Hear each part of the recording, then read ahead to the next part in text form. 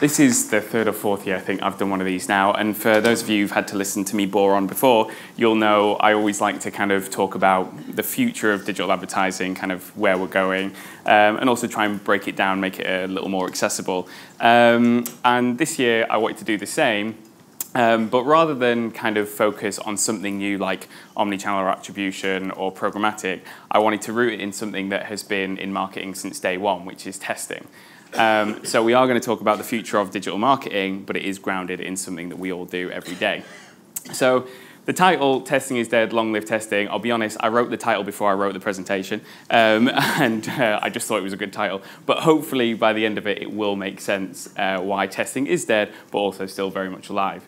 Um, so, when I joined Jellyfish six years ago, this is one of the very first things I was shown, which is the mantra of test, analyze, refine. And anyone who's been here for a few years is probably looking at this now with shivers because it was drilled into us that, you know, we always have to be testing, then analyzing the results of that test, refining, and starting the test again.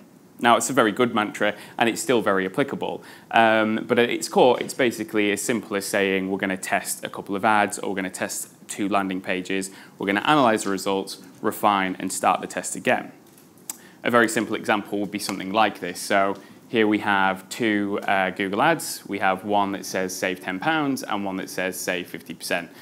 Test being we're going to send half the people to a monetary saving, half the people to a percentage saving, see which one wins, analyze the results, and then start a new test. And in the new test, we're then uh, testing today versus this week.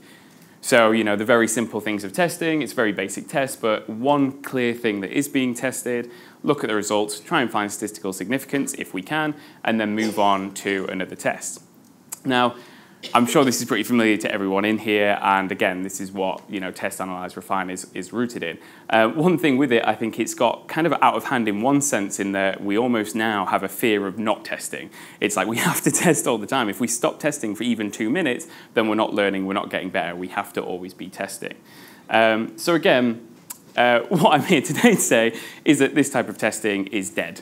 Um, now, that's a little controversial, and I'm sure a lot of people are thinking, what are you on about? We've got 100 of these tests running right now, um, but hopefully it will all make sense as I go through it. Um, so, if we look at that test again, so our very simple A-B test, and again, we might send 50% of people to one ad, 50% to the other, and try and pick a winner. Um, now, this is a lot of testing we do. And by the way, when I point this out, this is by no means saying, haha, this is all wrong and what you're doing is wrong. We do this. I've been doing this for years, and it is by no means wrong. Um, the kind of thing we would say with this kind of testing is something like this. So we ran monetary saving messaging versus percentage saving messaging and found that the former generated the better response.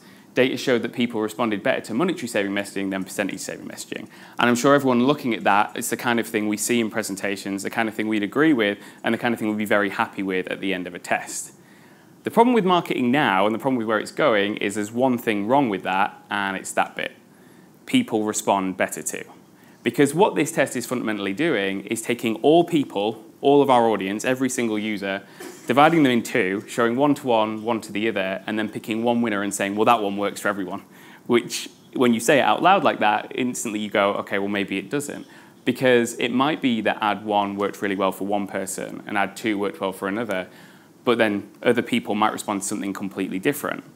Equally, if you take these two ads and pick one winner and apply it to everyone, say 100 people saw this ad uh, and 60 picked one and 40 picked the other. So you're just picking a winner and saying, well, 60 people like that one ad, so we'll now just show it to all 100. And again, and I'm not saying this is any bad thing, this is how we've been testing for years, and it's how we've had to test. It's how we've had to get marginal gains and keep testing and refining and, and you know, getting better. Um, but if we look at how kind of thought leaders your Googles, your Facebooks, and everything like that are looking at marketing now, it would be something more like this. And I apologize for a long quote. Those of you who've seen my talks before know I don't really like text on screen, but I had to put this in. Um, basically, this is Google saying, consider two people who are searching for Thai food.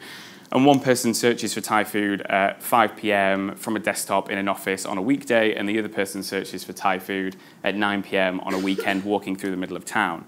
So those two people have searched the exact same thing, but the intent is very different one person might be looking for recipes to go home and cook, and the other person might be looking for restaurants near them. So traditionally, we would have no way of distinguishing between those two people if we throw it back a few years, and we would run the kind of tests I was just showing. We might run two ads, one that says, you know, Thai food recipes, one that says Thai food restaurants near you, pick a winner and apply it to all people. But again, if we pick that winner and apply it to all people, it still doesn't take away from the fact that one person was looking for recipes and one was looking for restaurants. So as Google say, historically marketers would have no way of distinguishing between these two consumers, but with data, marketers can be immediately relevant. And that's where we're going. Google's mantra with this whole thing is right person, right message, right time, every time. So the point is, it shouldn't be one generic message to everyone that kind of works slightly better than another generic message. It should be the right message to the user at the right time, and we have the data to figure that out. I read an interesting stat that a colleague of mine sent me the other day, which was that in 2017 alone, in that one year, we collected more data about people in the world than the last 50,000 years. We have more data about people than ever before, and we can use that data to make sure we serve that right message at the right time. So, with that in mind, how can we have people respond better to monetary saving messaging than percentage saving messaging alongside right person, right message, right time, every time? How can we have those two statements together? well, we can't. or at least that's where it's going. Um, and I say that we can't because that is where all the thought leaders are taking us. That is where the Google and the Facebook and everything are going. They're saying you need to move away from this uh, one worked better than the other and look more at right person, right message, right moment. Um, all of these companies are now looking at it that way. And that's why I wanted to talk about this today.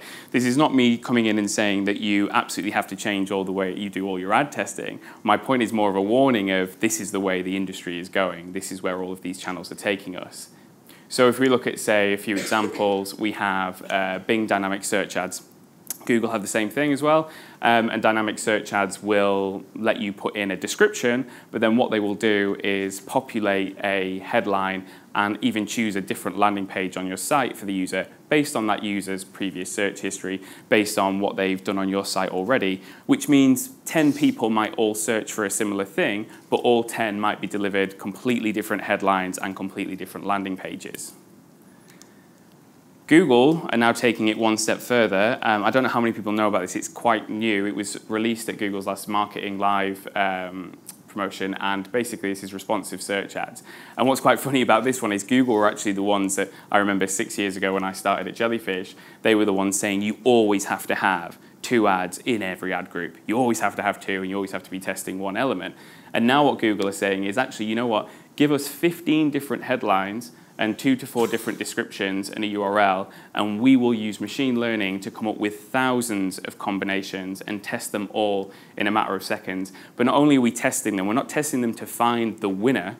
You know, we're not going to come to you at the end of this test and say this was the best ad. What we're going to do is just pick out the right ad for the right person at the right time. So one person might respond well to an ad with one headline, one description, and a URL. Another person might respond well to an ad with three headlines and two descriptions. But it's not going to show you that. It's not going to say, here's your winner that works for everyone, take the learnings. It's just going to say, well, we're just going to programmatically serve the right ad to the right person.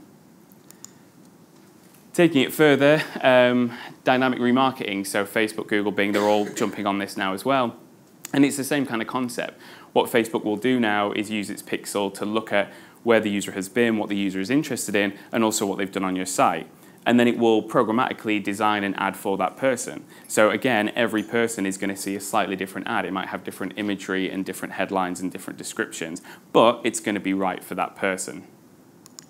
Um, and finally, if we jump onto the site, because also we do a lot of A-B testing on sites where we maybe test red CTAs versus blue CTAs at its basic level, um, but Google's doing the same thing. So where we had Google Analytics A-B test, which was simply a case of 50% of traffic to one, 50% to the other, Google Optimize is now saying, hang on, we're going to pull in data, and it might be that we serve one version of your landing page to a female who's 25 on a desktop, and a different version to a male who's 35 on a mobile.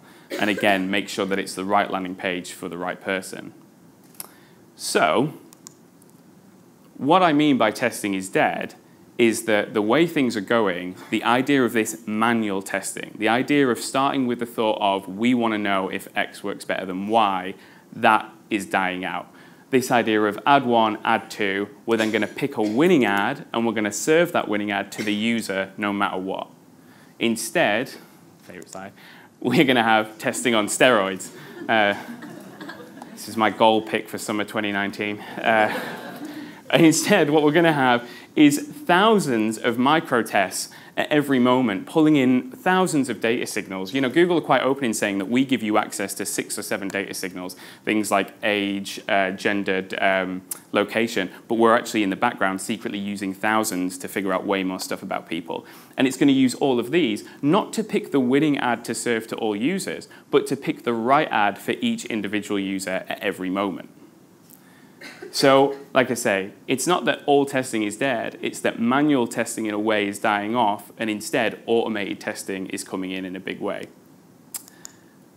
And what that looks like kind of visually here, which is better than looking at my creepy Photoshop, is that in the past we would have, say, a generic message to everyone, and you would test that generic message. So you would split that, you know, that generic message in half and say, well, we'll serve 50% of people one and 50% the other.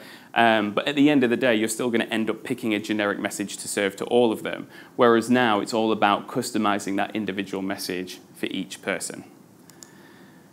So I see some scared faces. Uh, what do we do now? And again, I bring this up not as a right, tomorrow you have to stop all of your tests because this is where it goes. I bring it up because when we look at what Google and Facebook and Bing and the thought leaders in the online marketing industry are releasing, it is these type of products. Again, I've read many articles over the last few weeks which is all basically saying RSA, responsive search ads, is the next step in Google making everything automated in, inside. It's rather than you having to pick out these manual tests, they're just going to do it for you.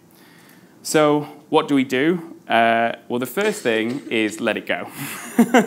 and it's difficult. And again, I say this to you not as you as publishers need to let it go. This is also a message internally for my team. I've got a few scared faces in the back as well now. Um, we also have to let it go.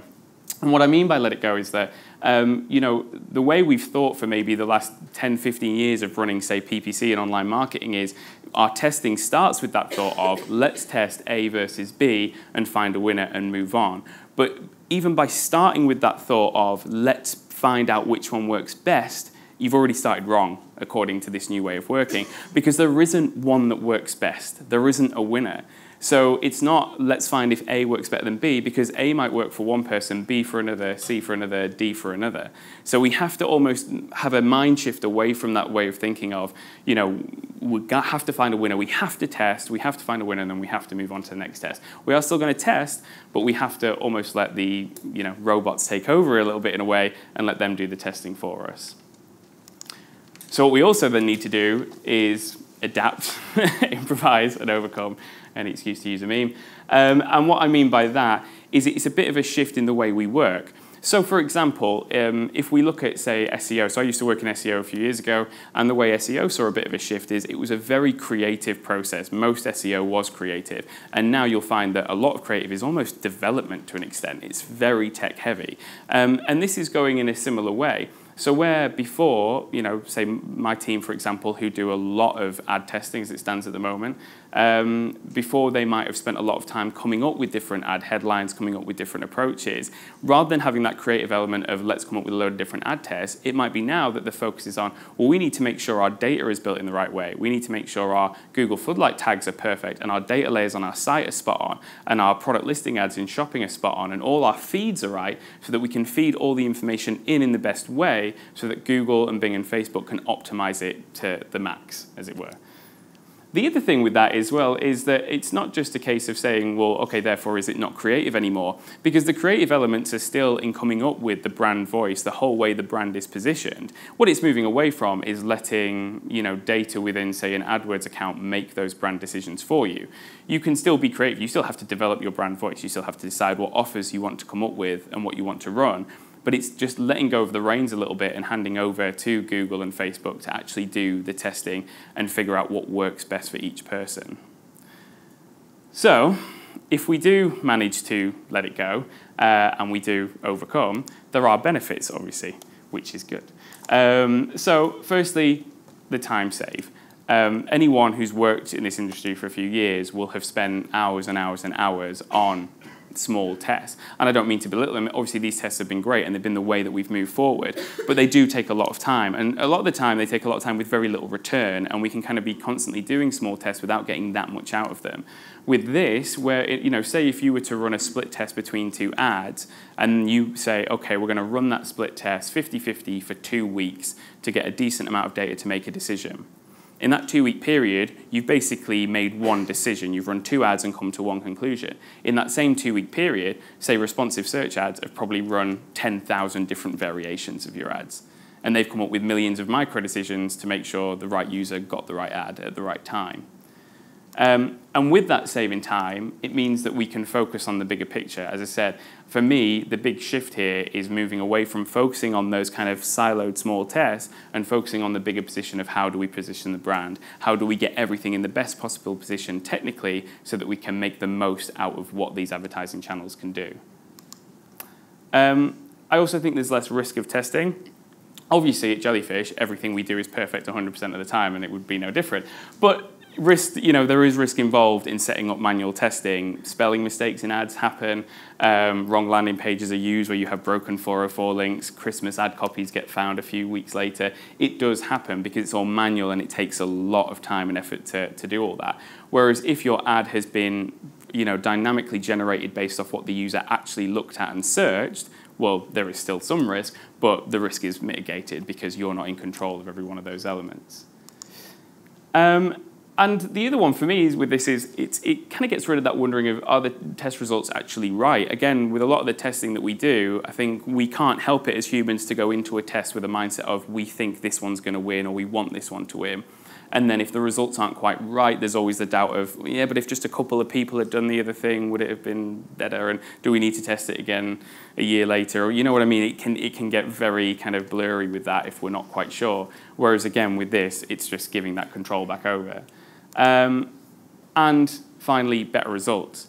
So I purposely, in this presentation, when I was showing dynamic search ads, responsive search ads, Google Optimize, I didn't want to put results next to them because I'm not coming to you with this presentation to say, I think you should all drop what you're doing and do this. It's more to say, this is the way I see the industry going. So I can give you results to say, yes, when we've tested these new products, it works well, but the point is it doesn't really matter whether it works well or not in one sense because this is where we're going. However, the good news is where we have run, say, responsive search ads, we have seen a massive increase in click-through rate of ads. Where we run dynamic search ads, we've seen massive increases in um, visibility online and conversions, and where we're using Google Optimize, we're getting some great results. So uh, I'm pretty sure there aren't going to be any questions because why would there? Um, but that's pretty much it. The, like I say, the thing to take away from this is um, it's not tomorrow you need to go back and change all the testing you're doing. It's more be aware that this is the way the industry is going, that it's moving away from the manual and moving more to the automated. And that's me.